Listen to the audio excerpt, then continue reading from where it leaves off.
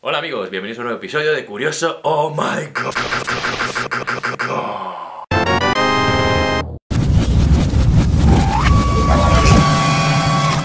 Aquí os traigo la segunda parte con las fiestas más curiosas, raras y locas del mundo.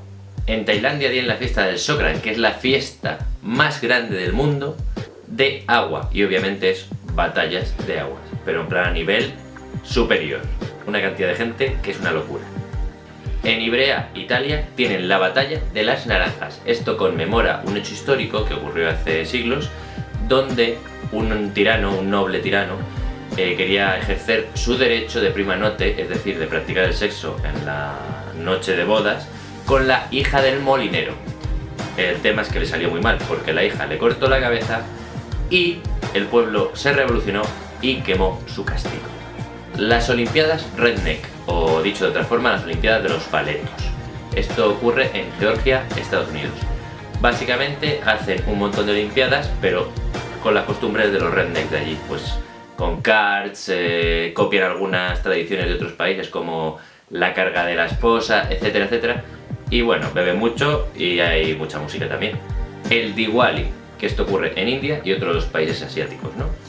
Es eh, la fiesta de las luces y se celebra la vida y la espiritualidad de las personas. Es decir, que no solo somos un cacho carne, sino que tenemos alma y esto es lo que se celebra con un montón de luces y sobre todo velas de acero. El Air Guitar Festival en Oulu, Finlandia. Básicamente es un campeonato donde hay música y se practica el air guitar, o guitarra al aire, ¿no? Se diría, en español. Y básicamente es eso, hacer el chorra, porque no tiene otra cosa. Y el campeón se lleva un gran premio.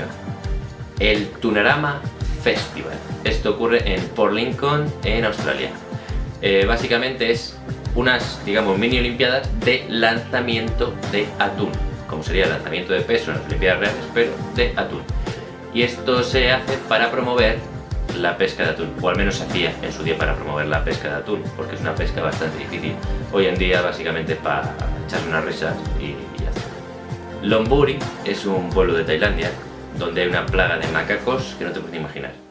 En cualquier otro país del mundo intentarían reducir la cantidad de monos que hay, pero aquí los veneran. Y esta fiesta consiste en dar de comer a los monos, le dan un buffet libre, por así decirlo.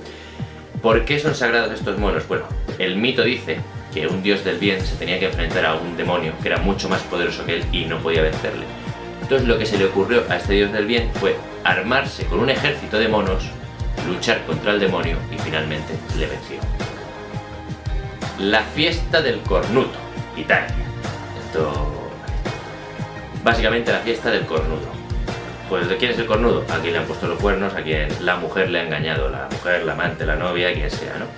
Y es una fiesta que se celebra en honor a estos pobres hombres que han sido engañados y al parecer salen llorando y destruyendo cosas por el cabreo que tienen. La fiesta del cerdo en Francia, que como cabría suponer no es que haya un festival donde, ah, mira qué cerdo más bonito tengo, este es el más gordo, el más bueno, no. Es donde se imitan a los cerdos en honor a esta carne que está tan rica. Y bueno, se dedican a hacer el chorra, básicamente. El Taipuram, en India. De hecho hay otros países asiáticos que también hacen este festival, pero el más grande está en India. Básicamente es un festival donde los feligreses, por así decirlo, se perforan parte de su cuerpo y se infligen dolores a ellos mismos en honor a los dioses para que les den su beneplácito. Nada, ya tenéis aquí unas cuantas fiestas más, unas de ellas son más interesantes que otras, unas de ellas son más estúpidas que otras, pero bueno, el caso es que Espero que os haya gustado y que oye, que si os interesa, pues ya estáis reservando el viaje para irnos de vacaciones para allá, ¿eh? Hasta la próxima.